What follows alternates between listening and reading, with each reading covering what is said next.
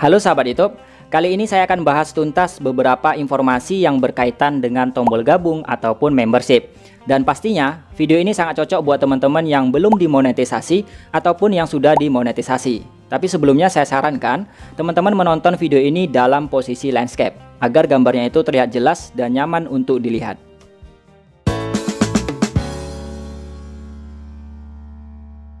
Nah, kebetulan di channel saya ini sudah ada tombol gabung ya. Jadi saya lebih mudah untuk memberikan informasi kepada teman-teman yang berkaitan dengan tombol gabung ataupun membership.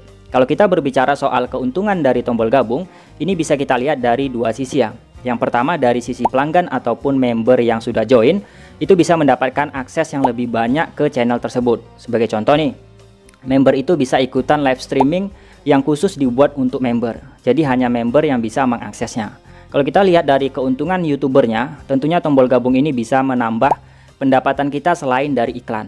Karena sumber pendapatan di YouTube itu banyak banget ya.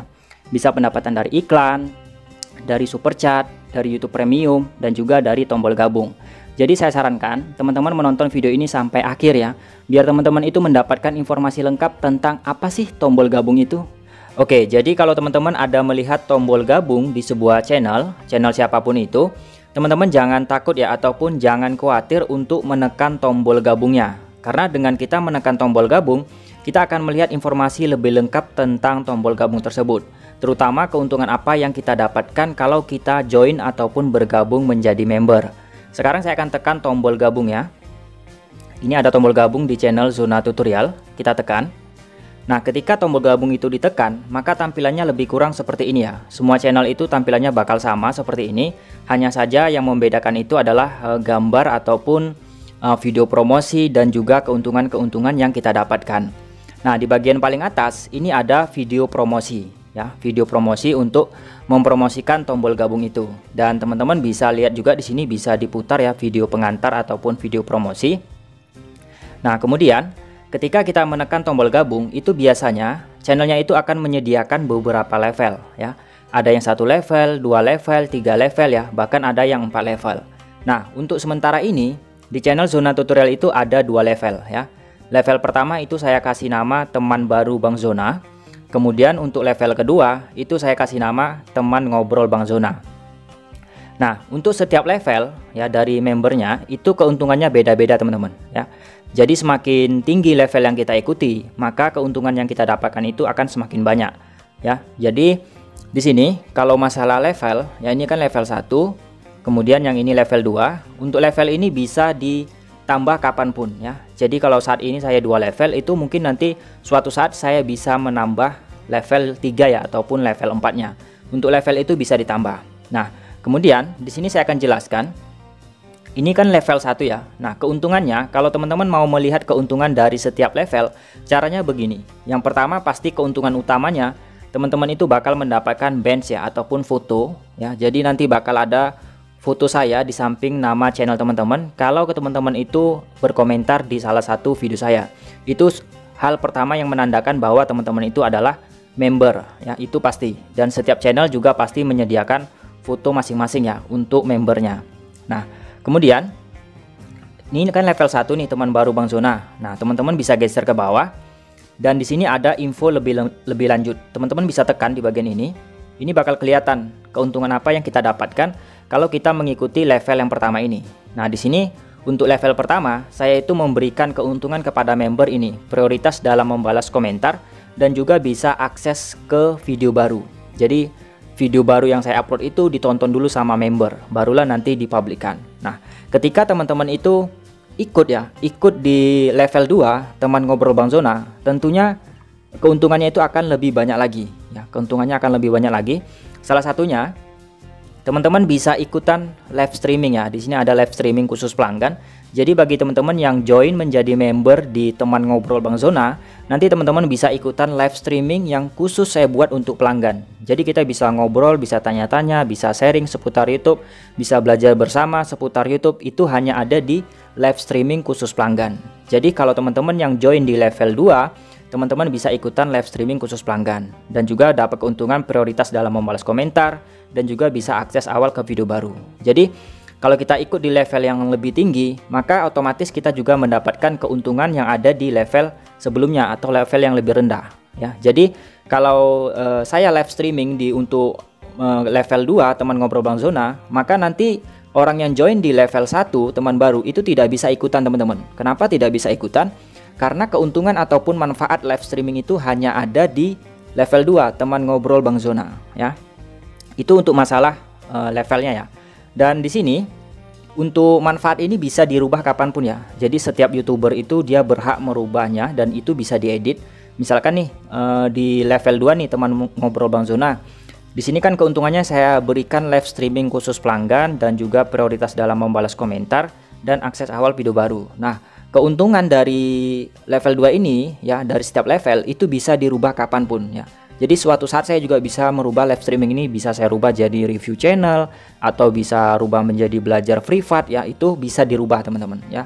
Jadi setiap keuntungan yang ada di setiap channel itu bisa dirubah ya. Kemudian kalau teman-teman perhatikan di tombol gabung ini kenapa sih harus ada harganya? Nah ini kan ada harganya nih harga yang dicantumkan di sini itu harga per bulan. Kenapa nih? Harus ada harganya gitu. Nah, sekarang saya akan jelaskan ya. Perlu teman-teman ketahui, ketika channel kita itu ingin mengaktifkan tombol gabung di channel kita, maka hal yang wajib kita lakukan adalah mengisi harga. Ya, mengisi harga untuk member kita. Itu wajib teman-teman. Kalau kita tidak mengisi harga, maka nanti tombol gabung kita itu tidak disetujui sama pihak YouTube. Ya, mungkin teman-teman paham ya. Jadi sama seperti kita itu monetisasi channel. Kalau kita ingin channel kita itu dimonetisasi, maka kan kita harus mendapatkan 1000 subscriber dan 4000 jam tayang. Itu wajib ya untuk kita bisa ikut monetisasi. Sama juga seperti tombol gabung ini. Jadi ketika kita itu ingin mengaktifkan tombol gabung di channel kita, maka kita diwajibkan YouTube untuk mengisi harga untuk setiap levelnya sesuai dengan harga yang direkomendasikan sama YouTube atau harga yang paling populer digunakan sama orang itu masalah harga. Dan harga di sini itu tidak bisa dirubah ya teman-teman. Jadi harga di level 1 19.900 ini itu tidak bisa saya rubah untuk selamanya ya. Bukan saya tidak mau merubah tapi memang tidak bisa dirubah. Jadi buat teman-teman yang nanti mau mengaktifkan tombol gabung teman-teman harus benar-benar pikirkan masalah harga. Karena harga ini tidak bisa kita rubah ya. Jadi begitu dia disetujui sama YouTube dengan harga yang kita tentukan maka dia tidak akan bisa dirubah Ya, yang hanya bisa dirubah, yang bisa dirubah itu hanya manfaat. Ya, manfaat dari setiap level itu bisa dirubah. Keuntungan dari setiap level itu bisa dirubah atau nama levelnya itu bisa dirubah. Tapi kalau untuk harga itu tidak bisa dirubah, teman-teman. Nah, kemudian di sini apakah kita itu bisa membatalkan member? Jawabannya bisa, ya. Jawabannya bisa. Teman-teman bisa perhatikan di sini ada tulisan ya, batalkan kapan pun. Jadi di sini member ataupun pelanggan itu punya hak sepenuhnya untuk membatalkan member gitu.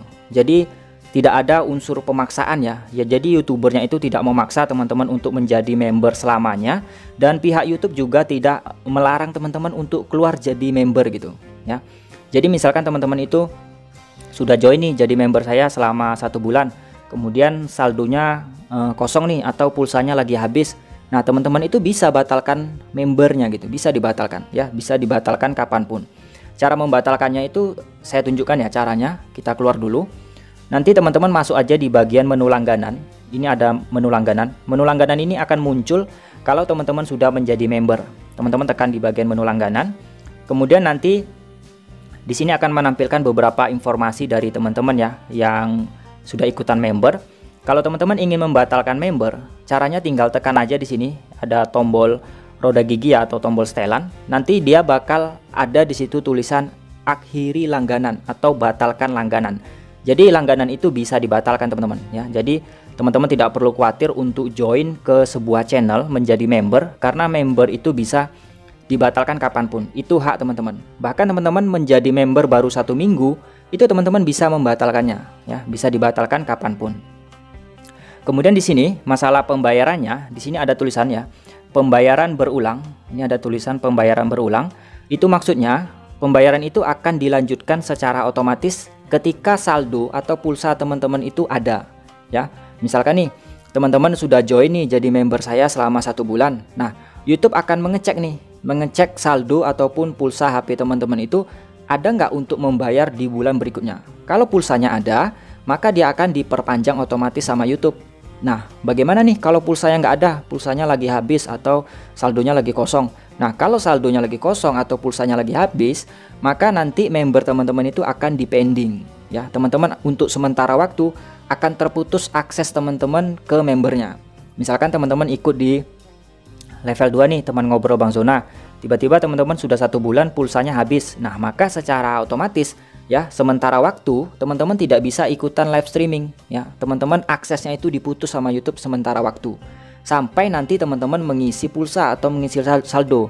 Jadi ketika teman-teman itu nanti baru mengisi pulsa dan pulsanya itu cukup untuk melanjutkan membernya maka YouTube sendiri yang akan otomatis melanjutkannya. Jadi setiap bulannya itu akan seperti itu seterusnya. Dia akan diperpanjang otomatis selagi membernya itu belum dibatalkan dan selagi saldo kita itu ada. Untuk pembayaran itu banyak macamnya teman-teman, bisa pakai kartu kredit, bisa pakai pulsa ya. Jadi tergantung dari HP teman-teman masing-masing. Kemudian di sini teman-teman bisa lihat ya, saya akan tunjukkan di bagian menu komunitas. Oke, kita geser dulu. Kita masuk ke bagian menu komunitas.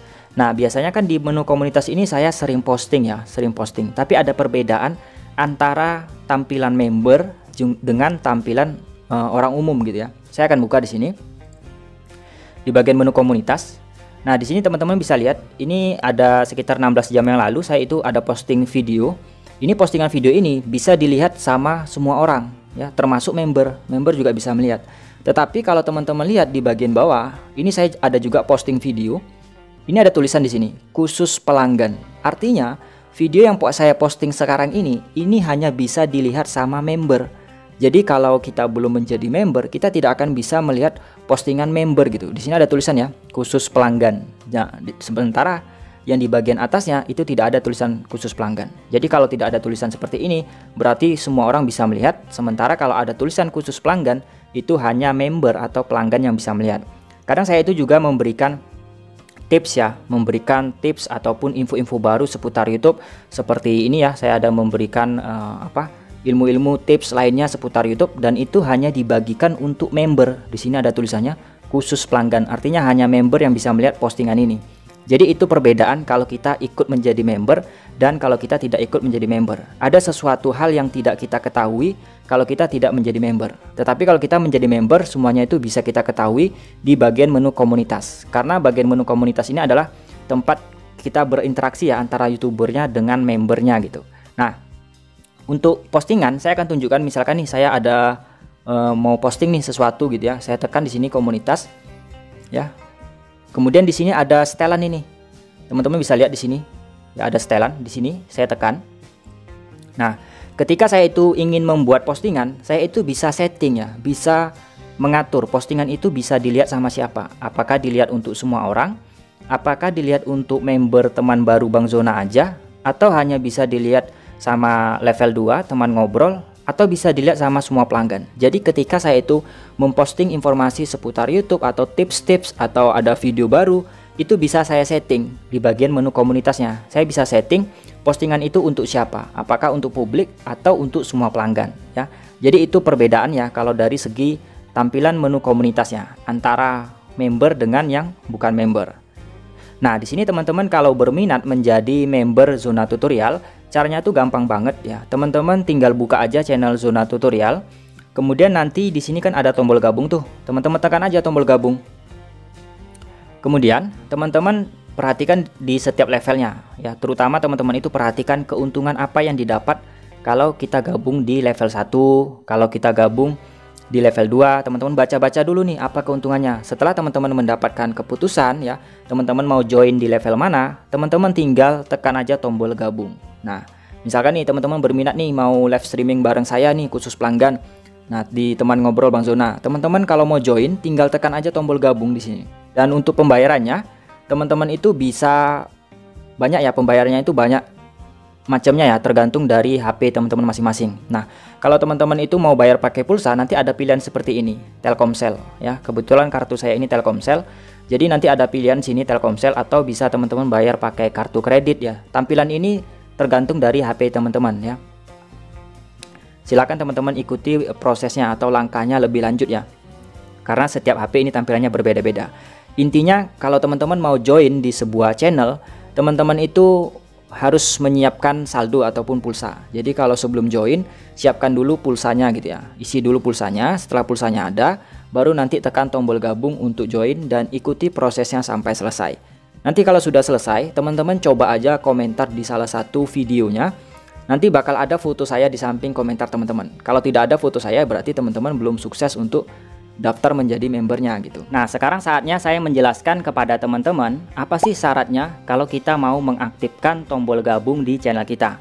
Syarat pertama, channel teman-teman harus tergabung ya dalam program partner YouTube atau dalam bahasa lainnya, channel teman-teman itu harus dimonetisasi dulu. Jadi channel kita itu harus dimonetisasi dulu. Nanti kalau sudah berhasil dimonetisasi, teman-teman bisa cek di bagian YouTube Studio dengan versi desktop Nanti di bagian menu dolar atau di bagian menu monetisasi, teman-teman bisa lihat kalau sudah ada muncul menu langganan, itu berarti channel teman-teman sudah bisa mengaktifkan tombol gabung. Tapi kalau belum ada menu langganannya, itu berarti YouTube belum memberikan izin untuk teman-teman mengaktifkan tombol gabung. Jadi syaratnya itu sangat simpel. Semoga video ini bisa bermanfaat ya buat teman-teman. Terima kasih nih sudah menonton. Sampai ketemu lagi di video selanjutnya.